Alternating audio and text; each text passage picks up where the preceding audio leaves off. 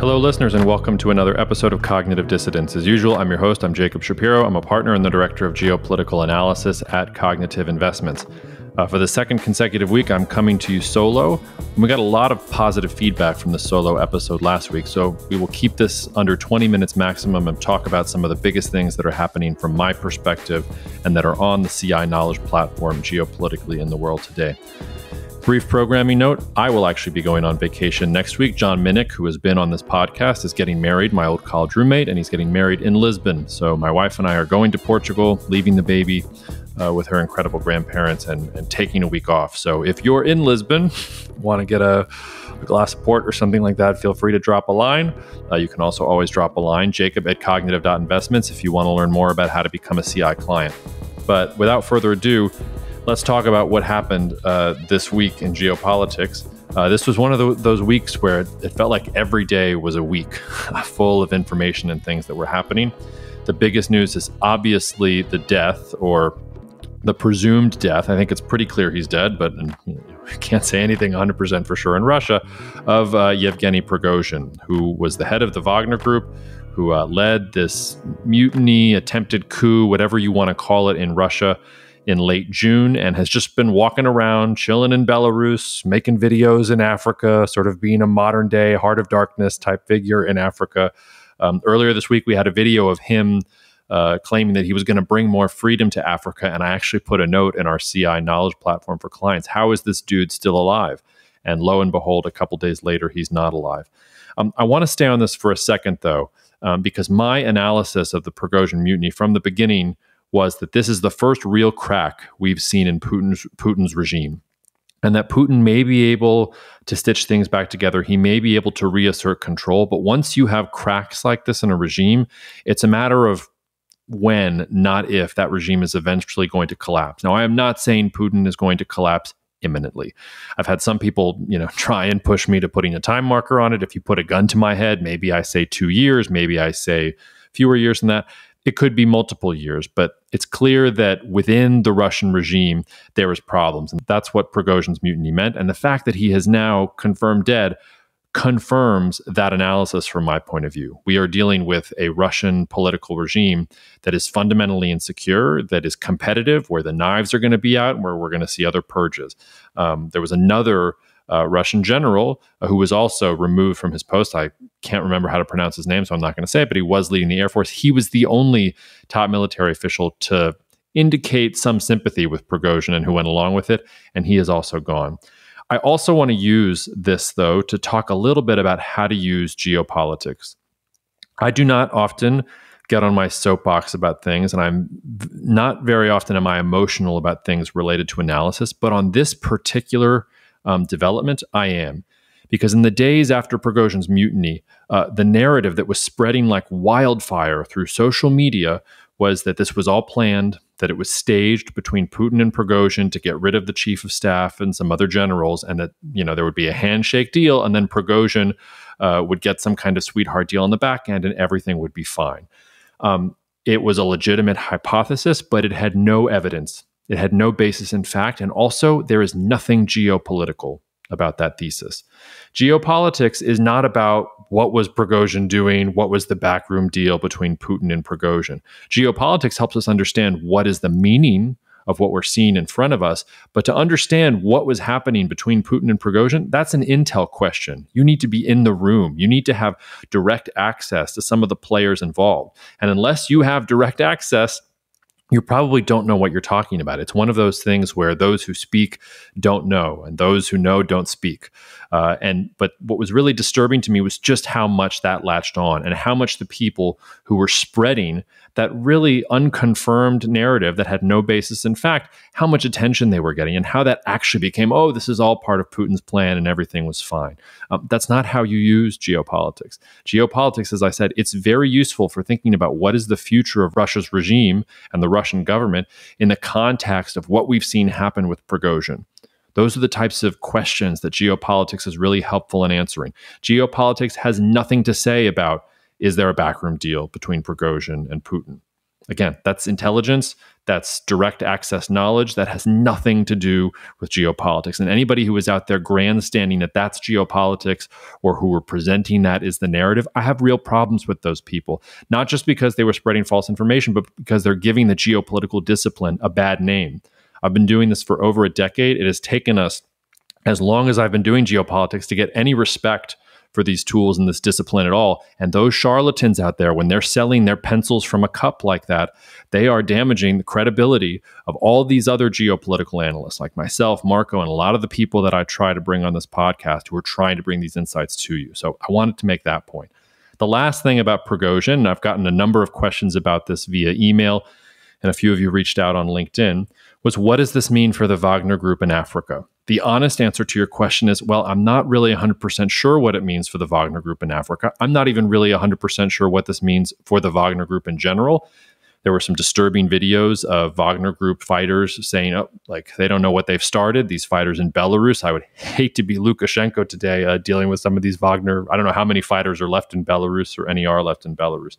But as pertains to the Wagner Group in Africa, um, I think that Wagner's influence and power in Africa has been vastly overstated. We had Sim Simtak on the podcast a couple epi- episodes ago, and he went into some depth about how there really wasn't a huge Russian presence in Africa. And to the extent there is, it's very brittle, it's very weak. Remember, go look at a map at Russia. One of Russia's biggest geopolitical challenges, arguably its biggest geopolitical challenge, is that it does not have access to the world's oceans. It is almost completely hemmed in. It's almost a landlocked power.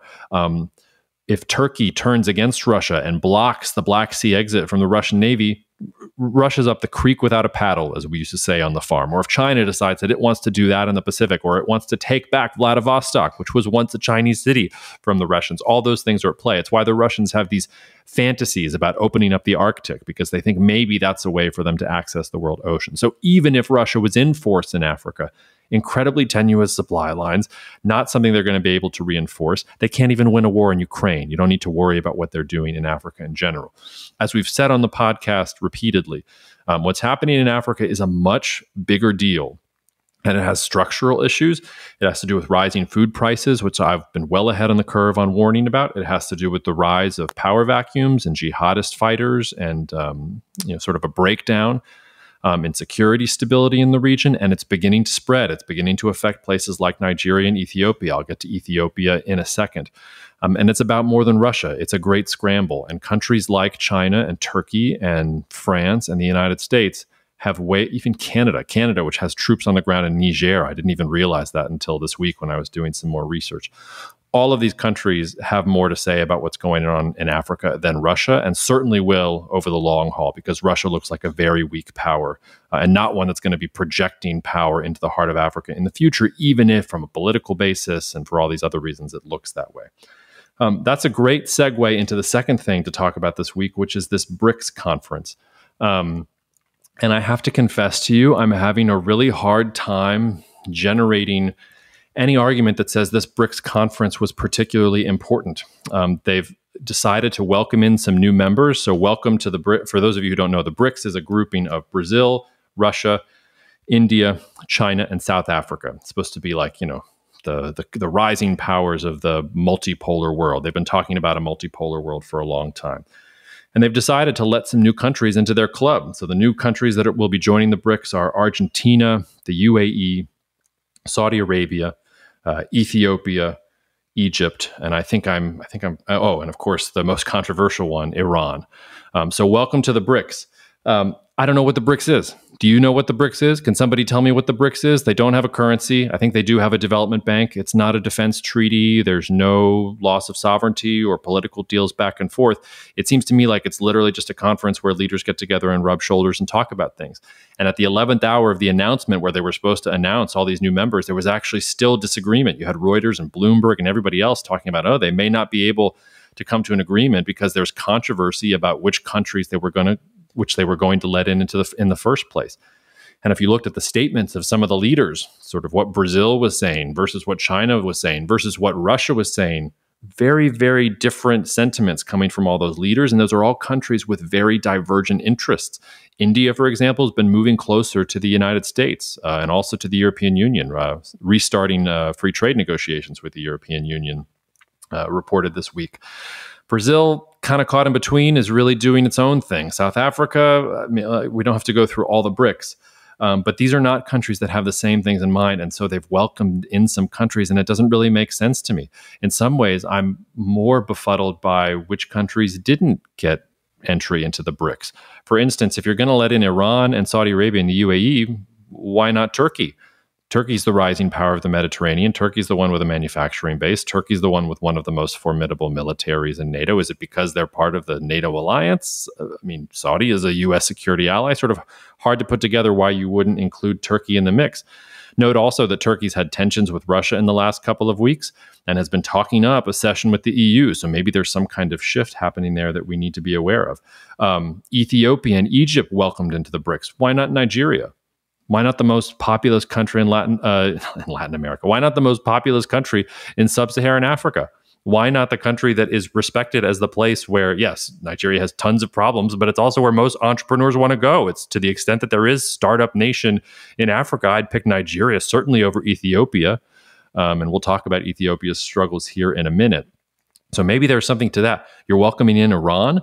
Xi Jinping's speech about BRICS was about everybody following international rules and law and order. Uh, most listeners probably know I'm a little more sympathetic to Iran's case, especially vis a vis the United States, than most analysts out there. But even me, somebody who is sympathetic to Iran, would be the first to point out that Iran routinely breaks international laws, has no respect for any of these international laws and covenants and things like that. So if that's what China really cares about, they're full of shit. That's just like straight up hypocrisy. Um, and the key thing here is the BRICS don't actually do anything. They don't mean anything. Um, it's not like even the European Union, which is Im- which is an imperfect union and has all these different problems. But at least there's a European Central Bank and a European Court of Justice and all of these other things. The BRICS is what? It's a meeting every once in a while. Congratulations to the countries that got to join it. I'm not losing much sleep about what's going on with the BRICS um, in general. Um, moving on, and we're going to hit some of the members of the BRICS here and some of these other updates. Uh, just a couple words about India. Been a lot of news here about India this week. I already mentioned uh, the imminent restart of free trade negotiations with the European Union. Um, that makes a lot of sense uh, because the European Union, in some way, this is ironic what I'm about to say, is the least imperialistic power that India could negotiate a major free trade agreement, uh, free trade agreement with. The United States wants to enlist India against China. China has its own desires in the Indo-Pacific and the South China Sea and things like that. The European Union is not really a military power in that sense of view. They need new markets, um, and they uh, India is a perfect uh, test case for that. The problem there is going to be that the European Union is going to have all these stringent rules that India is not going to want to follow. So I'm not sure it's going to go anywhere. But there's that news. Um, there is the news that India is restricting exports of more foodstuffs. So onions and sugar got added to the list this week. Um, you might remember wheat and rice. We've already had some restrictions on exports coming from India. I just want to underscore here in the global south, in the developing world, food prices are rising. Food inflation is rising. The Western narrative and the developed country narrative is that food prices are beginning to go down with a larger drop in inflation. Maybe inflation is going to go down. I'm not an economist, but I'm just telling you what I'm seeing in countries like Nigeria, countries like India food prices are rising and they're rising to levels that we saw around 2005 in Nigeria's case. India not quite so dire but you're, you're, seeing this all over the place and India's food protectionism that's a big enough market it's going to it's going to move the needle there and it's going to move the needle on wheat and now add sugar onions tomatoes. These are all things that India's restricted exports on and important from that perspective. Last but not least, the Indians landed um, a craft on the south pole of the moon. I can't pronounce the name of the craft. I didn't look it up before the podcast. Uh, but congratulations to India for that. That's a major deal. Russia tried to do it last week and failed epically. Um, in my when I launched my own consulting firm, Perch Perspectives, I put together a report that was a forecast of the 2020s, and one of the first chapters in that re- in that report was predicting this the second space race, which I said was going to begin in the mid 2020s. And India was one of the countries that I pointed to that was going to be involved in that. I think you should also look closely at the European Union, the United States, and Russia, obviously, China, Japan, but India was one of those big players there. Um, and that launch uh, really speaks well to the Indian economy, to in India's uh, technology and development, to its community of scientists, all those other things. So, as ever with India, a mixed bag of things some good things, some bad things, some ambiguous things, uh, but all things that I thought it was necessary to check in about. Um, I said I was going to mention Ethiopia. I'm not going to spend a lot of time on it. I just want to point out the ethnic tensions in the Amhara region and the violence that is happening in the Amhara region is not going away. And the Ethiopian, the Ethiopian government is talking about deploying federal military forces to these restive parts of Amhara region to get everything under control. Um, this, if this continues on this track, this is like the Tigray civil war, but by a factor of three or four. Um, Ethiopia has so much potential, but it really cannot get out of its way. And it looks like it's staring right down the barrel of another civil war. I mean, that's the worst case scenario. I hope it doesn't happen because when you put together everything that's happening in sub Saharan Africa right now, it would be terrible um, if that is what happened. But that's what the indicators look right now for Ethiopia. Another reason why it's so mystifying to me that the BRICS are like, yes, come in, open arms. You can't even get your own country together, but come into the BRICS where we do nothing uh, but release statements about how we are the multipolar rising world.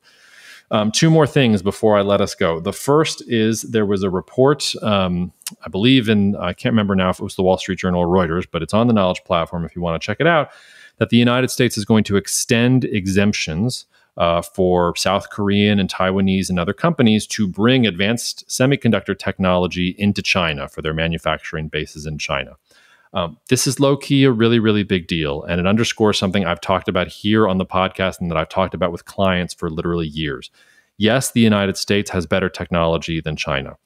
And yes, if the United States wants to impose significant pain on China, technology is a tool that the US can do it, uh, can do that with. Just understand that China also has leverage here. It may be asymmetric, it may not be as powerful overall as the US leverage, but the US needs China as much as China needs the US. And if the US really wants to cut off its leg in order to bring the Chinese econ to in order to cut off both of the legs of the Chinese economy, it absolutely can do that, but it involves losing a limb in the process. There is no version of a complete and total blockage of advanced technology to China or shutting down the Chinese economy or winning the trade war that doesn't also include a global recession and the United States economy going off a cliff for a couple of years. And this is the one thing that China's had in its back pocket the whole time. It's why China's putting pressure on companies like TSMC, like you know other U.S. tech companies, all these other companies that have been lobbying the Biden White House against more restrictive and draconian measures on technology, which we're pushing for these exemptions. Um, and you're beginning to see here the limits of the rhetoric and the ideology when it comes to China, because for better and for worse, even though I think we're moving towards a deglobalized world, even though I say we're moving towards a multipolar world, even though decoupling is happening, look, we're still at the very beginning phases of this. We've been in a global a globalization phase from you know basically the end of the Cold War all the way up until the pandemic. That's 30 plus years of globalization. You don't just snap your fingers and unwind that. And we're beginning to see some of the real the realities, the constraints of geopolitics assert themselves there. Last but not least, and it would have been first uh, if not for the Prigozhin news and if not for the fact that I just recorded an amazing podcast uh, with two Latin America experts yesterday that we're going to post on Monday um, is the seismic earth, uh, the seismic earthquake, political earthquake in Guatemala, where Bernardo Arevalo has become is elected the new president of Guatemala. I'm not going to step on the podcast episode on Monday. I just um, the the thing I'll just say here is that so much of geopolitics is doom and gloom and doom and gloom part of that is that's what sells. Part of it is also it's just been kind of a gloomy time in the world since the pandemic. Even an optimist like me will point out that there's a lot of war there's a lot of suffering there's a rise in poverty and food insecurity. I mean, you start going on the list there's not a lot, a lot of great things to talk about. Um, and maybe what's what's happening in guatemala will uh, will not live up to its potential, but it's a very, very exciting development. It's a positive development from my point of view. You have a people democratically opting for change and for a candidate who seems to be offering change and honest change at that. So we will have a full hour long discussion with our experts on Monday. Um, and also, listeners, I've been recording podcasts pretty furiously over the course of the last two weeks. So you will not miss an episode even while I'm gone. We've got some great content coming for you, even while I'm on vacation. Uh, and I will get back with you in about in a week and a half's time with another update. Um, so I said less than 20 minutes. It says 19 minutes and 30 seconds on the clock. With the disclaimers, it'll probably get over that. So I'll say bye. Hope you're all doing well. Cheers and see you out there. Thank you so much for listening to the Cognitive Dissidents podcast brought to you by Cognitive Investments. If you are interested in learning more about cognitive investments, you can check us out online at cognitive.investments. That's cognitive.investments. Uh, you can also write to me directly if you want at jacob at cognitive.investments. Cheers, and we'll see you out there. The views expressed in this commentary are subject to change based on market and other conditions. This podcast may contain certain statements that may be deemed forward looking statements. Please note that any such statements are not guarantees of any future performance, and actual results or developments may differ materially from those projected. Any projections, market outlooks, or estimates are based upon certain assumptions and should not be construed as indicative of actual events that will occur.